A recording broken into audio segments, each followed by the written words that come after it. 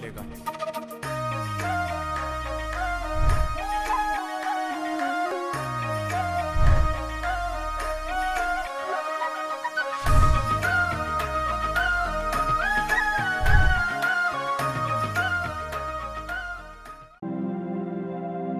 Depois que o casamento foi realizado, o eminente sábio Vishwamitra retornou aos Himalaias.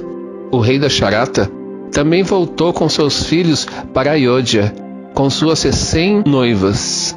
Antes de sua partida, o rei havia dado recompensas a todos os brahmanas, os sacerdotes.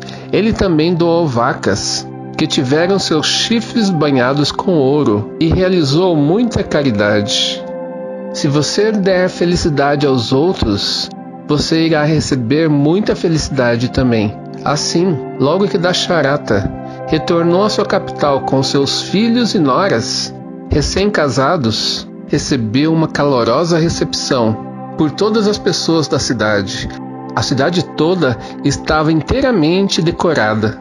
Seguindo o conselho do sábio Vashista, o rei da Charata adorou todos os antepassados, todos os deuses com o objetivo de satisfazer o Deus Supremo.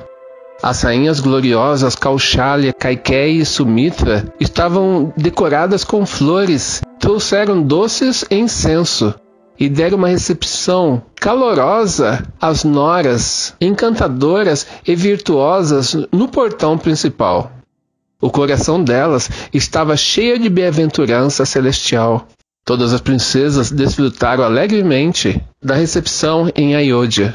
Rama e Sita viveram felizes em Ayodhya por 12 anos. A felicidade do casal não tinha igual. Um dia, o grande herói Yadajit, o tio maternal de Bharata e Shatrughna, veio para Ayodhya e quis levar os dois príncipes com ele para o seu reinado, a cidade de Kekaya. Após a saída dos príncipes, o rei da Charata considerou que a idade avançada estava chegando. Ele pensou que talvez estaria na hora de dar o reinado a seu filho mais velho, Rama. Ele então pediu a bênção e conselhos de seu guru, Vashista. E Vashista ficou muito feliz com essa informação. Vashista aconselhou que se realizasse uma cerimônia pública para tal ato. E quando foi realizada a cerimônia, todos na assembleia ficaram muito felizes em Rama ser coroado. Eles diziam que Rama é muito virtuoso e uma pessoa cheia de valor. Rama era querido por todos e todos tinham ele em seu coração. Tendo conseguido a aprovação unânime no Rajya Sabha, em que todas as pessoas da sociedade dizem sua opinião sem sequer uma nota dissidente, o rei da Charata pediu ao ministro do interior Sumantra para buscar Rama, que não estava ciente de todos os acontecimentos.